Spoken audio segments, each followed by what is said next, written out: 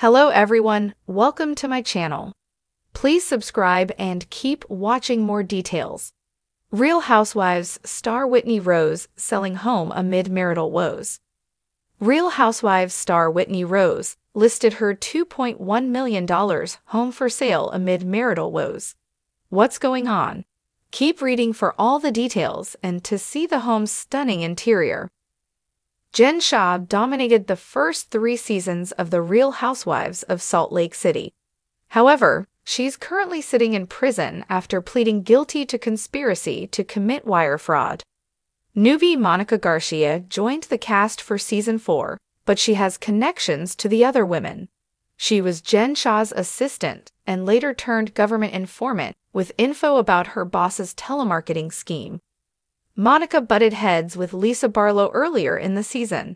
However, by the season finale, Monica was on the outs with every single cast member.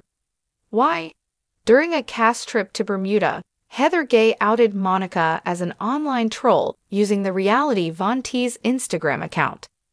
Season 4 also saw Whitney Rose get real about trouble in her marriage to Justin. At one point in the season, she called him out for not wearing his wedding ring. However, she later explained that he didn't wear his ring because it was too small.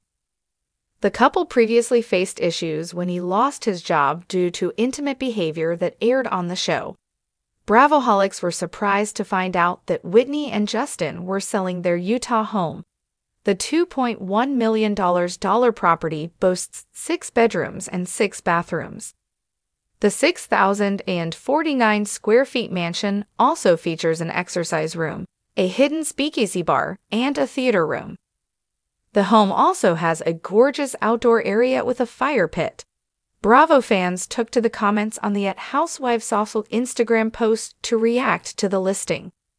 I love that RHOSLC is playing on the TEVs. It's a gorgeous home, but I don't want to sleep where Whitney and Justin did their artwork. Nice bathtub. Maybe Meredith will buy it. Wait is episode 1 of SLC airing on their movie screen in their listing photos? They're getting a divorce. It's just a matter of time before they announce it. Another one living just above her means.